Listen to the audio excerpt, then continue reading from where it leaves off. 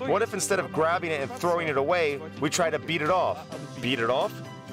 If it is flying at you and you're hitting it away from you, I won't even attempt this for this experiment. We've invited a professional baseball player, and we want to see if he can make it in time to hit the grenade so that it flies away far enough for him to be safe.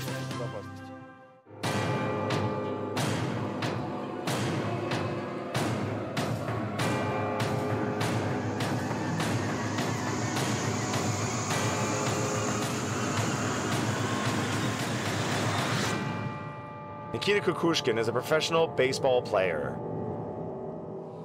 So now, we will have an experiment. Whether a baseball player can hit a grenade, thankfully a fake one, at such a distance that he is not struck by shrapnel as if it were real. So everyone, ready? After my command, throw. I set the time, and a whistle will signal a grenade explosion. Get ready. Go.